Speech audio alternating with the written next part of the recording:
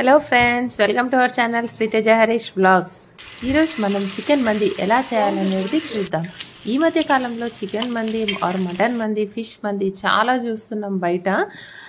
దీ ఇదే ఇంట్లో నేను ఒకసారి ట్రై చేశాను. ఎలా ఉంది అని అంటే నన్ను అడగొద్దండి. ఫైవ్ ఫైవ్ స్టార్ రేటింగ్ ఇవ్వచ్చు. అంత బాగా వచ్చింది అండ్ ఇదే మనకు మన వ్యూవర్స్కి చూద్దామని నేను అనుకొని ఈరోజు స్టార్ట్ చేస్తున్నాను. ఫస్ట్ మనం కడిగిన చికెన్ తీసుకొని దాంట్లో పుదీనా వేసుకోవాలి. దీంట్లో టూ స్టెప్స్ ఉంటాయి. పుదీనా వేశాక పసుపు చికెన్ మసాలా సాల్ట్ కారం కొత్తిమీర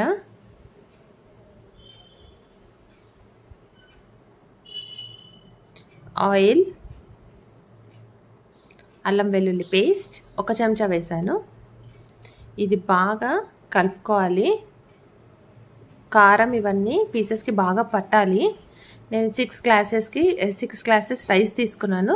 దానికి ఈక్వల్గా కొంచెం ఒక హాఫ్ లీటర్ వాటర్ తీసుకున్నాను.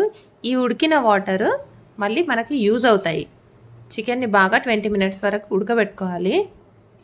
బాగా బాయిల్ అయిన పీసెస్ని పక్కన తీసుకొని ఒక బౌల్లో తీసుకొని దాంట్లో మయోనీస్ వేయాలి.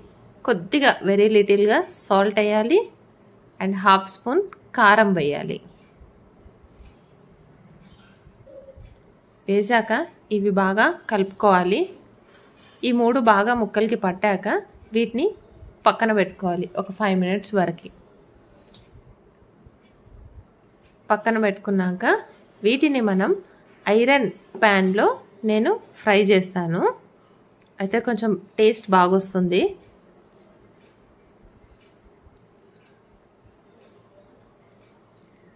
చూడండి.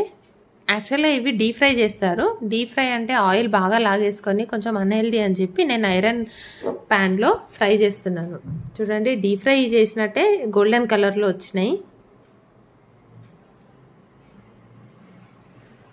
ఇప్పుడు మనకు రైస్కి సరిపడా ఒక పెద్ద బౌల్ తీసుకొని దాంట్లో నేను టూ స్పూన్స్ ఆయిల్ వేసాను.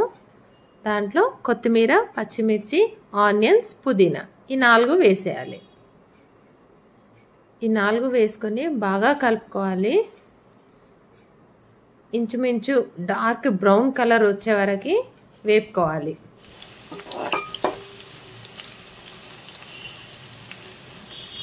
ఈ వేపుకున్న దాంట్లో ఒక చెంచా అల్లం వెల్లుల్లి వేసాను. అల్లం వెల్లుల్లి పేస్ట్ బాగా వేగాక దీంట్లో నేను Priya masala biryani masala paste two spoons వేసాను అది వేగాక నాకు నేను ఫోర్ గ్లాసెస్ ఆఫ్ రైస్ తీసుకున్నాను. దానికి సిక్స్ గ్లాసెస్ వాటర్ కావాలి. ఆ వాటర్ బదులుగా నేను చికెన్ బాయిల్ చేసుకున్న వాటర్ తీసుకున్నాను. నాకు యాక్చువల్గా ఫైవ్ అండ్ హాఫ్ గ్లాసెస్ వచ్చినాయి. ఇంకా హాఫ్ గ్లాస్ పాలు పోసుకున్నాను. మీరు పాలు కానీ నీళ్ళు కానీ అది ఆప్షనల్ అండి. ఏదన్నా వేసుకోవచ్చు. పాలు పోస్తే కొంచెం క్రీమీ టెక్స్చర్గా వస్తుంది. ఇది బాగా మరగాలి. చూడండి. మరుగుతున్న వాటర్లో ఫ్రెష్ క్రీమ్ వేసాను టూ స్పూన్స్. క్రీమ్ అంతా మెల్ట్ అవ్వాలి మెల్ట్ అయ్యాక ఇప్పుడు దీంట్లో రైస్ వేయాలి. నేను half an hour rice half an hour నానబెట్టుకున్న రైస్ వేసాను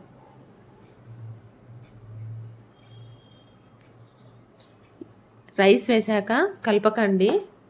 జస్ట్ స్ప్రెడ్ చేస్తే సరిపోతుంది.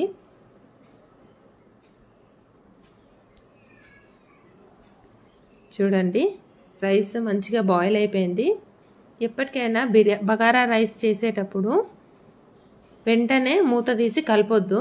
మనం స్టవ్ ఆఫ్ చేశాక కంపల్సరీగా ఫైవ్ మినిట్స్ ఆగాలి. చూడండి ఫ్రెండ్స్ థ్యాంక్ యూ.